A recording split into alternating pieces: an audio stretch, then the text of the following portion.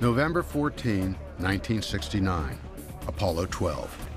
Astronauts Pete Conrad, Dick Gordon, and Alan Bean are headed for the second moon landing. The need to make a fast decision is about to fall on controller John Aaron. He's in charge of electrical and environmental systems. His call sign, EECOM.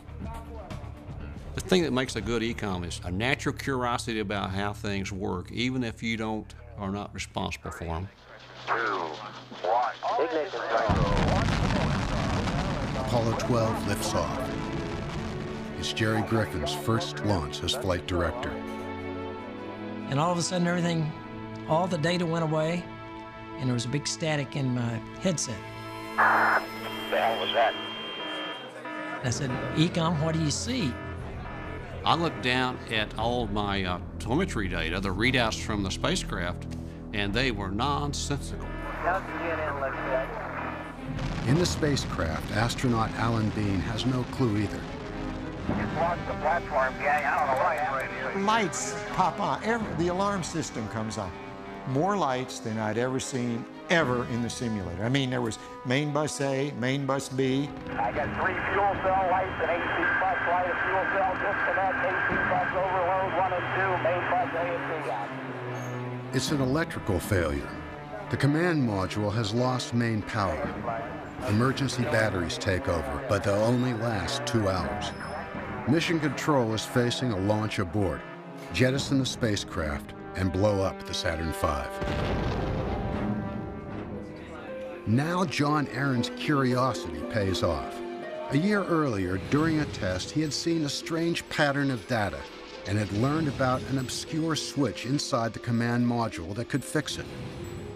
I had seen that pattern before, and it had been one year since I had seen it. But it was like that pattern was written in my mind.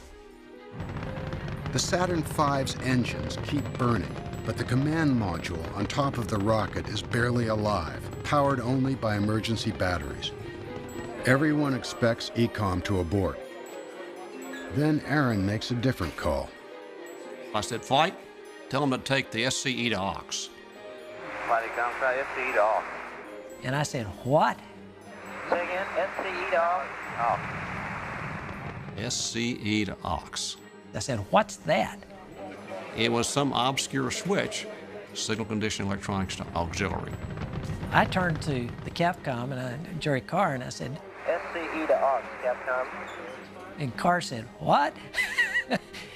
Mission Control comes back and says, Try SCE to auxiliary, over. NCE to auxiliary. SCE to auxiliary. What the hell is that? Fuel cell SCE, SCE to auxiliary.